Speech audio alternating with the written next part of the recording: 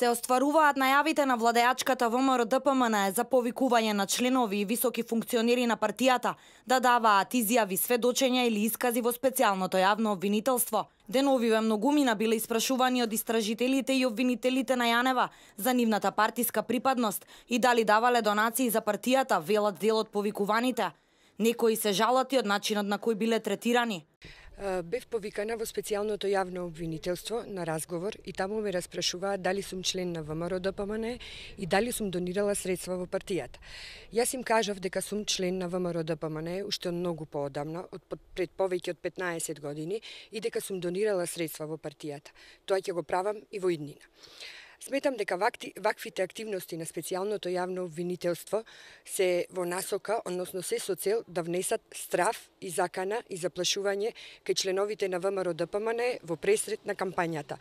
Таму бев прашан дали сум член на партијата ВМРО ДПМН и дали сум давал донации за истата. Нормално јас одговорив дека сум член на таа партија веќе 26 години и дека сум еден од основачите на партијата во Охрид.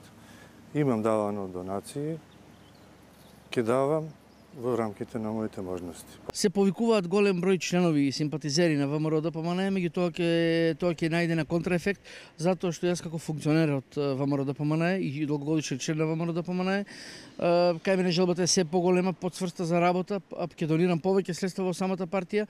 Членот на извршниот комитет на ВМРО ДПМН е Антонио Милошовски пред една недела на пресконференција објави дека членови на партијата се повикуваат во СЈО да даваат некакви изјави Според Милошовски, специјалното јавно обвинителство на ваков начин ја заменил досегашната пракса да држи драматични пресконференции, но повторно со цел да и помогне на СДСМ во предизборието.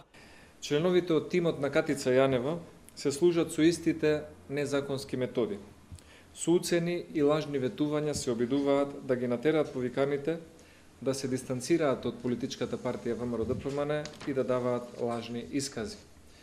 Како тече обично разговорот помеѓу некој од тимот на Катица Јанева и одредени луѓе кои што се повикани од ВМРО ДПМН, најчесто им викаат никој нема да ти каже фала, доколку не даде соодветна изјава, биди паметен, сега си повикан како сведок во СЈ и дај изјава како што ни е потребна, доколку не, следниот пат ќе бидеш повикан како обвинет, Телевизија Нова побара одговор од специјалното јавно обвинителство. Дали Јанева има и старшин за сите партии или единствено ја интересира финансирањето на ВМРО ДПМН? Дали досега повикале членови и симпатизери на СДСМ да дадат исказ и дали имаат отворено истрага за финансирањето на СДСМ? Одговор на овие прашања за сега нема.